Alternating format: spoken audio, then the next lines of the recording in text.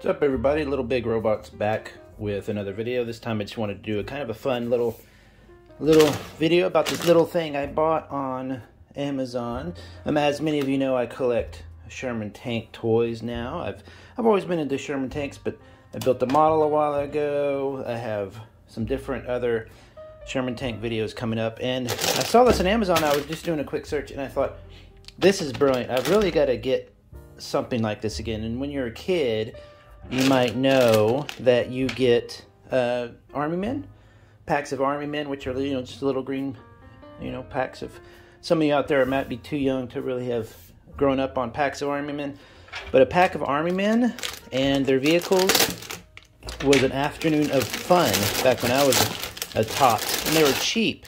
And this one is uh, a Sherman tank. I can't remember where it's made. I want to say it's made in America, but I seriously doubt it. Let's see, Dongguan. Yeah, that's not made in America. BMC Toys. So I just did a search and I found a. I, I seriously was just I searching for you know Sherman tank toys, and you'll come across all sorts of ones. And I found this Army Men style Sherman tank toy. So I want to look at the rest of the toys because this is from the picture I saw. It was really cool. So I just got it yesterday. I thought we'd take a look at it because it's really not a bad looking, just for a fourteen dollar uh, Army Man tank. Now, Army Man for 14 bucks back in the day, you would get like three tons of Army Men. But in this case, I just bought one tank. Look, it even comes rested. Um, Sherman's, you often see right here. We'll have this little thing in the front here.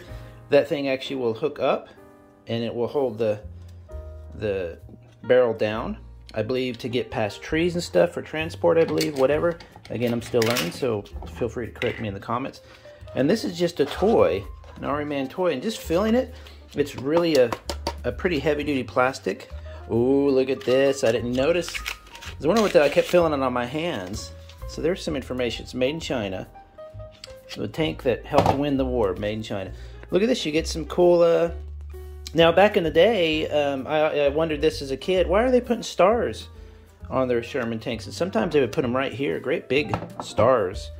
And uh, people were like, well, because pilots flying overhead, if you just saw that from a distance, you couldn't tell is that an enemy tank, is that one of ours? And the star would help uh, identify it. But I heard complaints later, correct me if I'm wrong, that those white stars you'd place on the side served as a perfect little marker for a gun, for an enemy gun. so I don't know if that's true, and I need to read more about it. But so I'll be I'll, I'll be happy to put those on now. What I, before I put them on though, I'm going to check with my. Let me show, show you my book I've got. I've got a couple of these, but these are great little books um, that give you an interior view and everything of the Sherman. You can grab them on on uh, Amazon, eBay, stuff like that, 15, 20 bucks. And they're printed. They have some nice the pictures. aren't the greatest quality, but of course, a lot of pictures back there back then weren't. Let's see if I can find one with a star. I know there's an uh, there's a um, a draw. Yeah, see there, he has got a star on the side. But that's not the American one. That's the. It might be actually that is. They were using in Tunisia. Yeah, U.S. First Armored. But there's one with a good. There's a star right there. See as well. So I don't know how. I need to read more about that. Um, they used these tanks for a long, long time after the war. I believe some of them stayed up through the 70s or something because they kept outfitting with, you know, larger gun stuff. But this great little book. So what I'll probably do is look at where the placement of the stars, make sure that's pretty accurate. But look at that. It's really not bad. I mean, the mold is really, really not bad at all. Here's the tank, uh, the model, which is made by, um, who was this? Uh? Really, really good model maker. So you can see how pretty close they got it to. This is, I guess, the layer one. It has the has the long, longer turret as well as the uh, this visible thing here. You see, it's a it's a, like a vision. You can the, the captain or the I'm sorry the the, the oops, I guess I dropped that. The uh, the uh, head dude, captain, is that his name? Forgetting what their title is. Um, could look out of that without opening the hatch. You could actually look out of that. Well, I didn't know that was empty in there. It's been forever. I wonder if I could squeeze an engine in there, have a visible engine. But that looks pretty cool so far. Comparing it, different stuff. Actually, what I like about it is it has all that stuff on the back. Um, which looks pretty good size-wise, scaling-wise. I'm kind of shocked. Now, normally, um, Army Men tanks, when I was a kid, they would have wheels on the bottom. So you'd have the treads that would move, and then you'd have four wheels so you could roll it around. But this is still fantastic. It's really not bad at all. Um, I think you could probably drill out that that barrel just, uh, you know, half inch, quarter inch down. That would look cool.